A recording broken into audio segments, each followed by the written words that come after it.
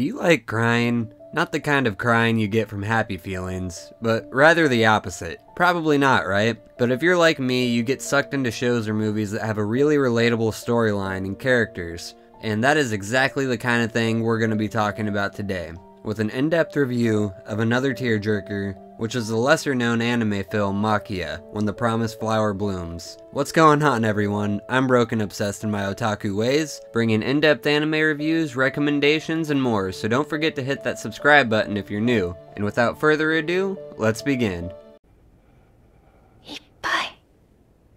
一生懸命生きてきたんだねエリアル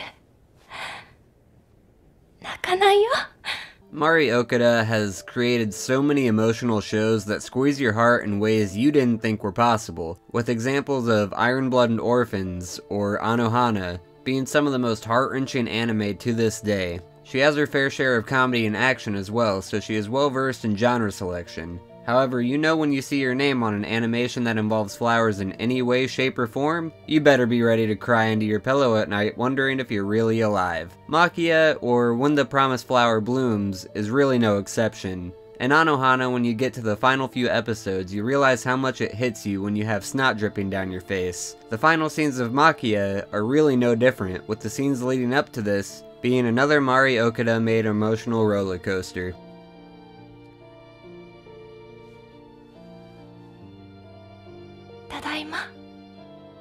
While being the screenwriter, however, this is also the first film that was directed by Okada, meaning that every emotion you feel in Maquia is in its purest form, seeing that it is the way she intended it to turn out in the end. Maquia is focused on the main character Maquia herself, who is part of a family who stops aging in their mid-teens. One night, Maquia's village is attacked by dragon-equipped soldiers from a neighboring kingdom, hoping that one of the immortal maidens can help continue the heir of their own prince. Maquia is then forced into the world of mortals, which we all know sucks, being as that we're a part of them sadly. Shortly after she's forced out on her own, she finds a helpless human baby, who she decides to more or less adopt and raise as her own, and names him Ariel. The storyline of this beautiful film follows this new family throughout the course of their entire lives, showing us the growth of Ariel as he grows up and seeing Maquia stay young seeing as she is immortal. As time progresses in this movie, we see the small scenes scattered throughout that changes the way their relationship was when it first began. There's not a lot of fantasy films or shows out there that can make you feel how intimate and grand the world around them really is. But with some of the larger events in Maquia, we start noticing that they start to change the world around them. From the people surrounding Ariel and Maquia to the very staple of the world they live in, starts to slowly change over the course of the movie due to certain events that occurred in the past. While it's rather easy to get lost in the fantasy aspects and long narrative, Maquia is based around the premise of motherhood, showing us that aren't parents what it really means to be a mother and everything in between that comes along with it and it does this very thing beautifully.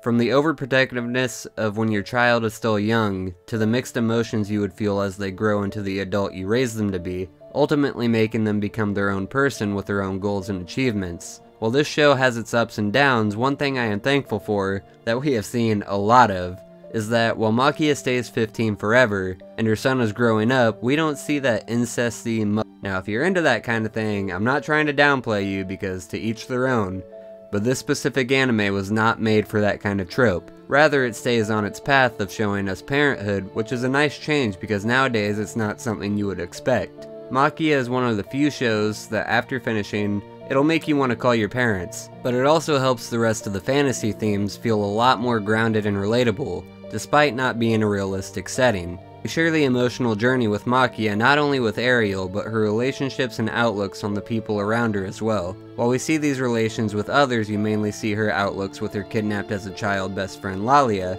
who has been kept apart from her own daughter. We are able to see every emotion unravel into a beautiful ribbon that some people call the ugly cry. One thing that stands out a lot in this specific film is that we are able to understand and connect with the relations of other characters, despite them not actually being displayed on the screen. While some people may view this as a negative, it actually helps Maquia's story progress more quickly, with every major plot point being able to come together almost perfectly, and the repeated comments such as Maquia commenting on Ariel always smelling like the sun, we're able to follow where the characters are emotionally every time we go to a time skip or a new location.